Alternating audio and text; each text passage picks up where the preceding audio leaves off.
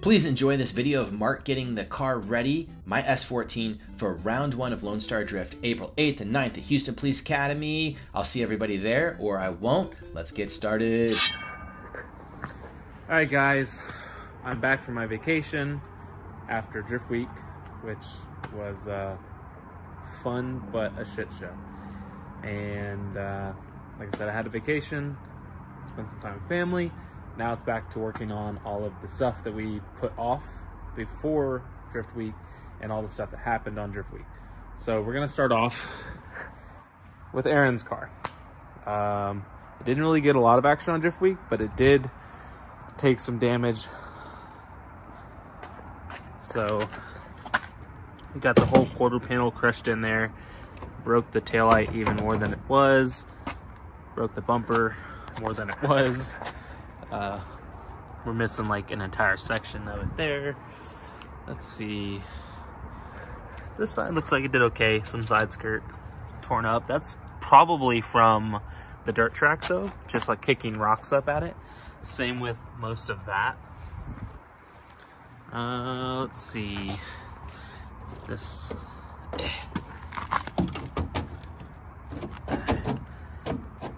Eh, close enough. Oh, what else? Corner light's been broken. Bumper's been broken. So no extra stuff there. It's super dirty though, obviously. Uh, side skirt got ripped off Ugh. at some point. And then, I'm sure, yeah, the inside is just as dirty as the outside. I need to get all that cleaned up for round one, which is two weeks away. My car is under a tarp or a nice car cover.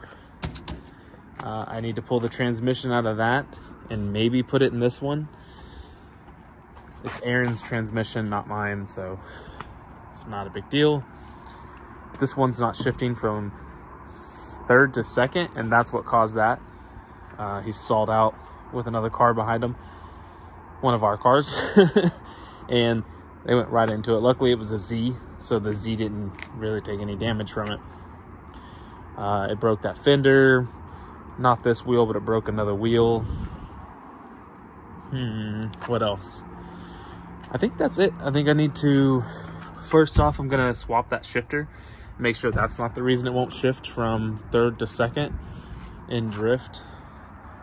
And if that's not the case, then I need to get that out, get a drive shaft made because that's a bigger output spline than this one. Uh, what else? I really think that's it for round one. We're not going to make it pretty. I'm going to give it a wash, obviously, because I do not want to work on this thing that's dirty. Going to get it up on jack stands, get all the wheels off of it. Do the whole off-season thing, even though we didn't really get an off-season. Uh, what other projects? Okay, so I started recording and I realized it's way too dark for you guys, so I went and grabbed a light. So, like I was saying, project-wise, we have oh, this guy. It is one of the rental Z's. Uh, I have a bumper for the back. There's a bumper in Houston for this that we went and got painted that I need to go pick up. So it needs both bumpers put on it. It needs a clutch. The NASCAR is still here. Still haven't done anything to it. I'll get around to that. Uh, truck maintenance obviously needs to be done thing needs an oil change. But other than that, I mean, it's a trooper. I broke the mirror, so got to put mirrors on it. Uh, I have this guy, which belongs to Alex and Flo, our German friends.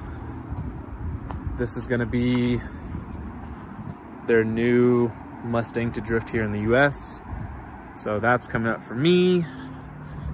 What else? We have the white one. This one just came back from its fourth drift week, I think.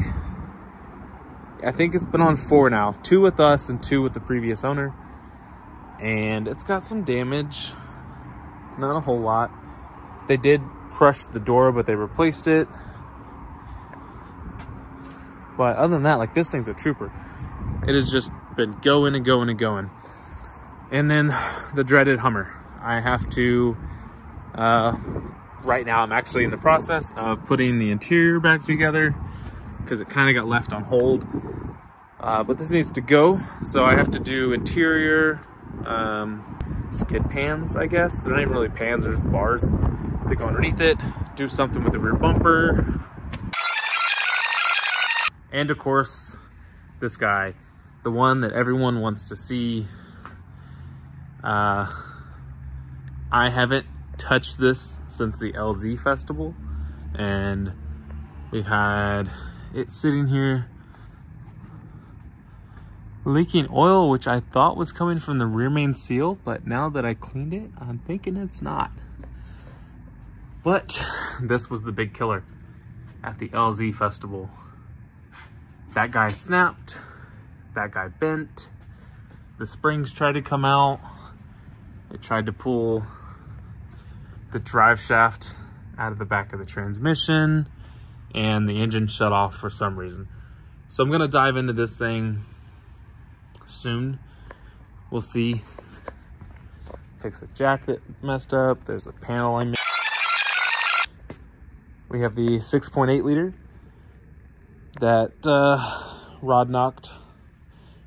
We haven't really talked about it, but uh, I messed up putting it in there and messed up an oil pump. And then we kind of fought it. Everything seemed like it was going to be good and uh, the Thursday before we left for Drift Week, it rod knocked, so I had to swap it out. That's my motor, by the way. So I do have stuff for my car. It's not all Aaron's, but Aaron likes this stuff more than mine. So, of course, there's some of the body for the NASCAR or Circle Track car. There's the rest of the body. And we have the 5.7 that originally, oh, this is the one. I was like, I couldn't remember what happened. This is the one that got the chunk ripped out. So the engine is mostly fine. I think it just needs to be reblocked. Obviously, everything gone through to make sure nothing got really messed up. Oh, I have this Tyler Cox car that's been sitting here for a year on the trailer in various states of taken apart and painted and not painted. Um, I need to uh, do another rack relocation because I robbed it from my car. And I think one of the axles needs rebuilt. Obviously, all the bodywork stuff still needs to be done. I don't know what kind of time frame we're doing with this one. But uh, my car, yeah, it's under there. It's not coming out. It's still beat up. The quarter panel's still crushed in. The door doesn't work, but I did get a door. It's in there. Um, I think that's pretty much it. There's a fancy Tyler Cox car inside, but I don't know if Aaron's ever really going to do anything with that because it's so fancy and it, it's an SR car and we don't want an SR car. Although we do have enough V8s now to put in there. We just need some more transmissions. Yeah, so this is uh, gonna be my start of everything. I'm probably gonna clean this car, put that clip in there, and uh, get started on showing you guys kind of uh, what I go through. I don't know, I've done it a couple times, I think, but uh, I'll show you how like I push out dents on Aaron's car, mounting stuff back on it, what I need to go through for the transmission. I'll talk to you about that. And if I have to swap it out, we'll go through the whole process of do we put a dog box in it actually, or do we put that one in it? Aaron's kind of leaning towards the dog box. But we will see. So I'm gonna get started on cleaning this thing.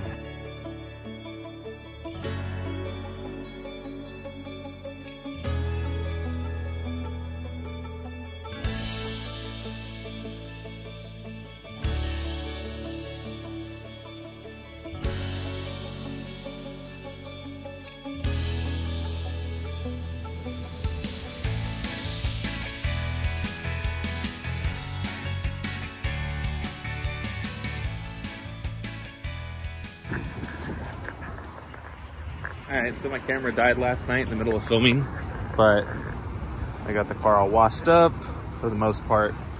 I still need to clean the interior. And then today I'm gonna tackle that trans problem. I'm gonna pull that shifter that's in there out, put another one in it, and see if that takes care of it. I really don't think it does, but it's a simple check just to make sure that I'm not putting a transmission in it for no reason. And then I need to get this dent out. So it looks straightforward, but this whole body is pretty separated. So I got to try to push it out without really doing more damage. And then that'll probably fix itself once I pop this guy out. Put the side skirt on it and this thing will be ready for round one. All right, so before I get started for the day, I thought I should thank the new sponsor, Grip Royal. They're gonna be supplying all the trophies for this year and have kindly ugh, given us some new steering wheels for the cars. So, nice little Lone Star Drift stuff there. Thing feels super good. It's a little thinner than the NRG ones, but I think that's gonna be cool. So, let's get this guy put on there. So a quick note when you're installing one of these, for the first time, you wanna make sure your steering wheel is straight up and down.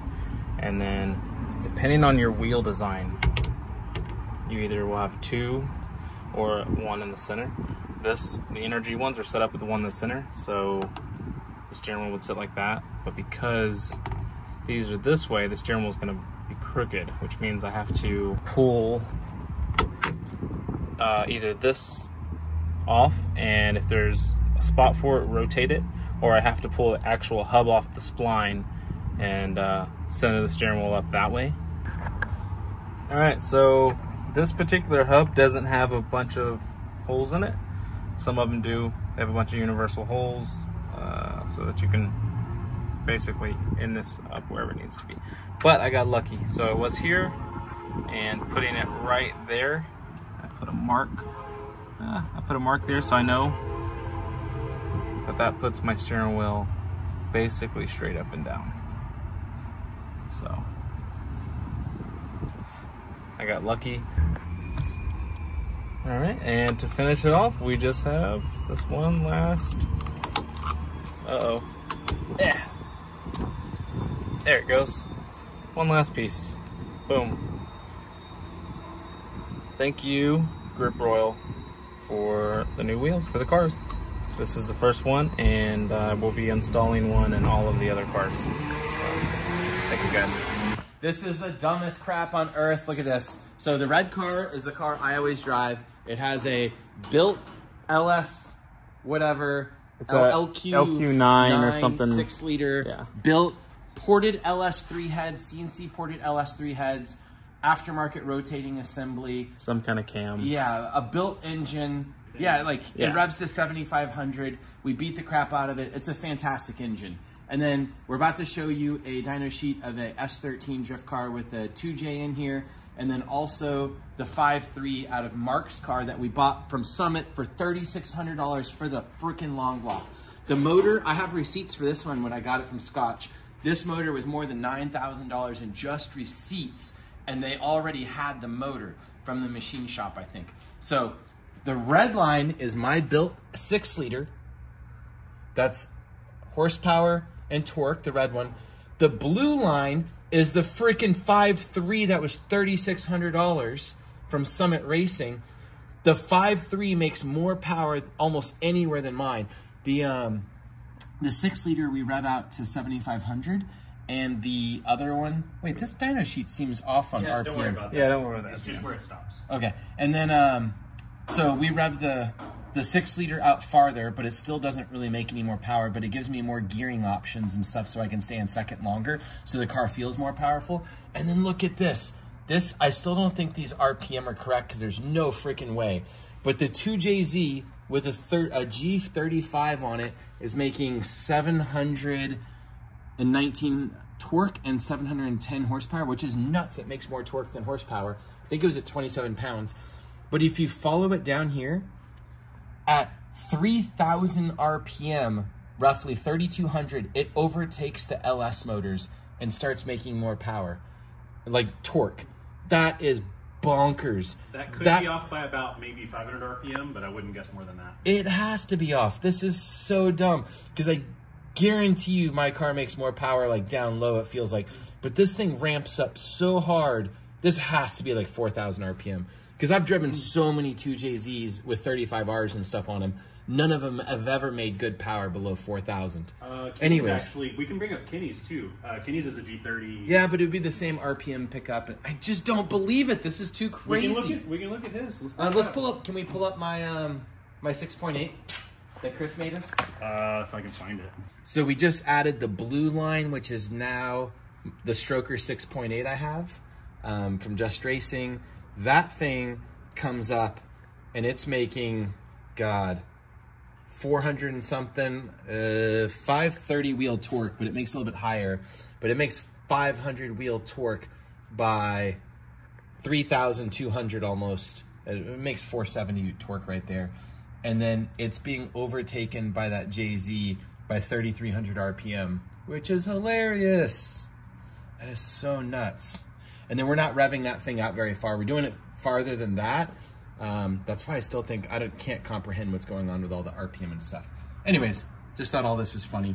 Put Kenny's up there, would you? It uh, it still didn't rev out as high as yours did. So no, what's happening here is if you don't stop the run, if you don't have the dyno stop the run, then it overruns and it messes up the whole dyno plot. So you have to stop it somewhere, and we just stop it at arbitrary point, like a few hundred RPM or a thousand RPM, where you're actually going to stop. Mm -hmm. All right, so I finally have the shop to myself. Uh, they're running in and out on this dyno all day, so I couldn't really have the car inside. But I have it inside now, and it's time to get to work on this dent. So I have to uh, get in here, and my plan is to basically get a 4x4, probably, and put it against that, hold it with a big hammer, and just hammer this guy out. Uh, normally, you know, you could probably get in the trunk and kick, but there's a radiator. Okay, that's my plan.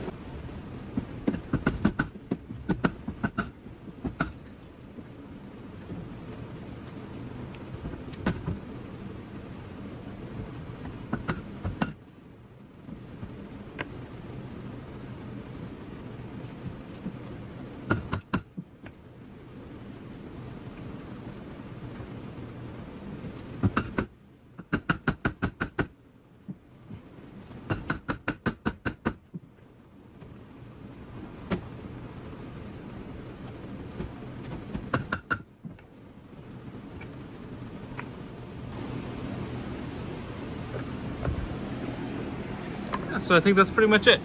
You just uh, get the 4x4 in there and then just hammer away on it. I think I got one more hit. Just, uh, just to bring that bottom out a little bit more. See if I can hold this and do it.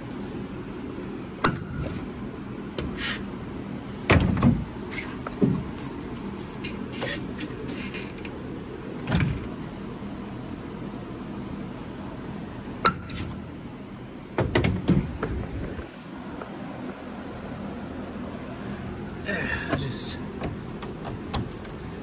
fix that guy there.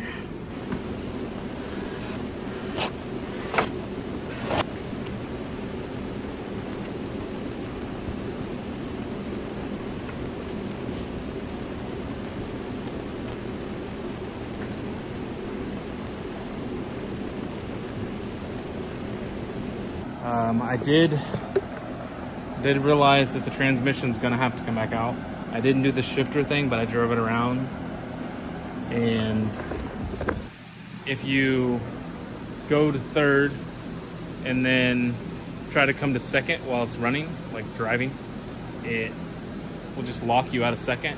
But if you stay pulled on the lock and you come down to basically like five miles an hour, the car will let it go into second. So that tells me it's a synchro problem.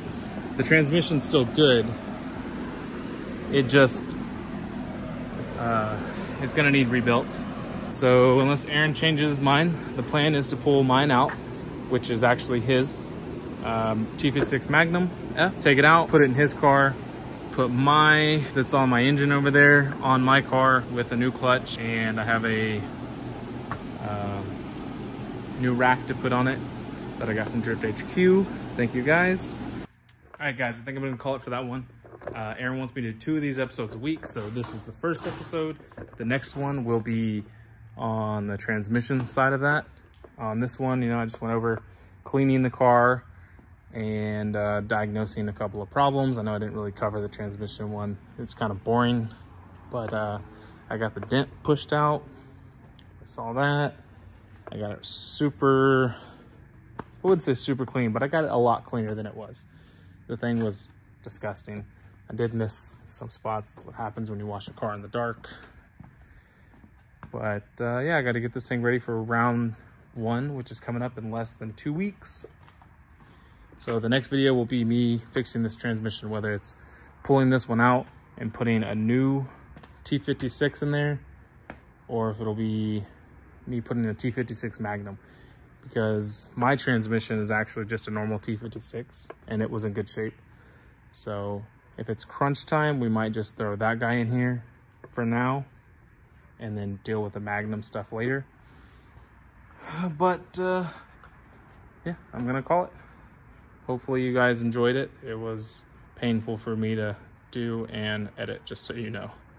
Huge shout out to all these sponsors such as BC Racing Custom Coilovers, NK Wheels, Grip Royal, KBD Body Kits, Heatwave Visual, Spec Clutch, Vapetasia, Valino Tires, and of course, WhatMonstersDo.com with their all new logo. Go to their website and use that discount code. Thanks, everybody. Have a good day.